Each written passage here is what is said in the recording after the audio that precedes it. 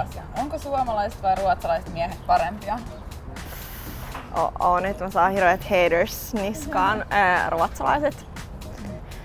Et hirveän vaikea toisaalta sanoa, koska kaikki on kuitenkin erilaisia, hirveän vaikea yleistää, mutta ehkä niinku, mä koen, että siellä ollaan ehkä enemmän semmosia, että tullaan juttelee, joka voi olla myös huono asia, että sä oot tosi semmonen nokko pystyssä. Niinku, niin.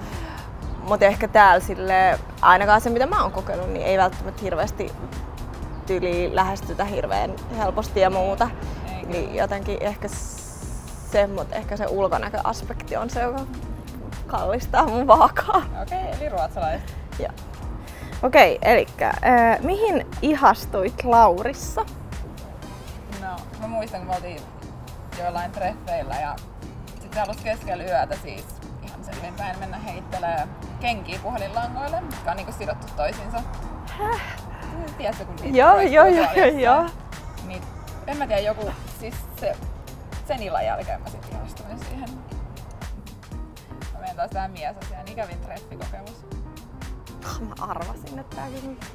Öö, no mulla ei ole sinänsä niinku suoranaisesti mitään hirveän ikävää treffikokemusta, joka olisi tapahtunut itse siellä dateilla. Mutta mulla oli yhdessä vaiheessa joku reilu vuosi sitten semmonen kundi, jonka, tota, ää, jonka kanssa mä menin sit sokkotreffeille. Ja tota noin, ne itse deitit oli hirveän lupaavat ja meillä oli tosi hauskaa ja muuta.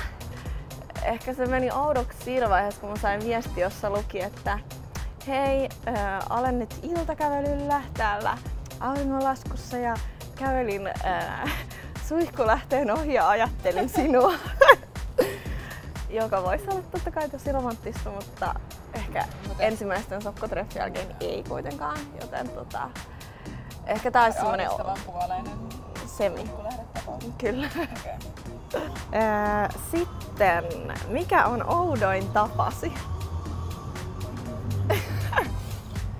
mä en tiedä onko oudoin, mutta se on ärsyttävin. Uh, jos mä oon tosi iloinen, niin mä laulan koko ajan ihan sama missä mä oon. En silleen kauniisti, vaan niin lallattelen ja sitten saattaa olla, että mä riimittelen, en siis niinku räppää vaan.